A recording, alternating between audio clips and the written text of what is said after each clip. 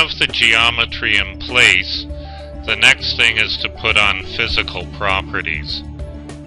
The main physical property to assign for electric problems is either material conductivity or permittivity or boundary conditions of voltage.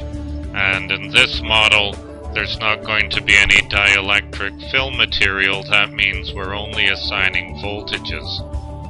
So we click on Button Rectangle and assign it as 10 volts.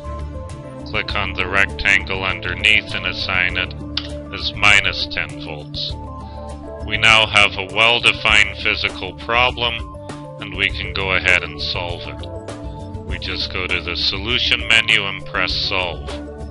You may be noticing at this point the general flow of the program is following the menu across the top from geometry to physics to solving and now into analysis.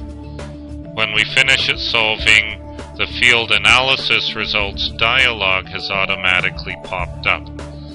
You can see in this dialog it, you can create various types of displays of the result. We can create um, graphs such as this, where we get the voltage along a section of empty space between two points that we specified.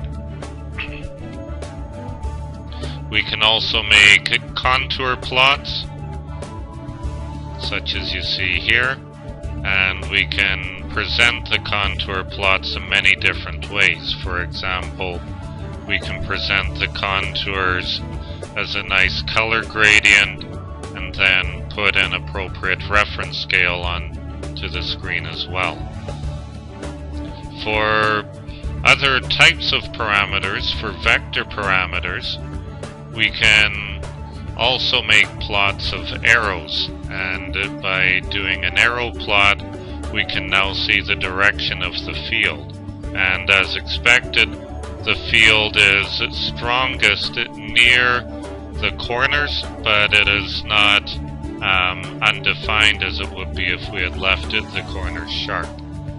So we can make it different sorts of densities of plots and we can express the shape of the arrows in many different ways, in different sizes and aspect ratios. For mechanical types of analysis, it's also possible to use the analysis menu to get numbers like force and torque on a region.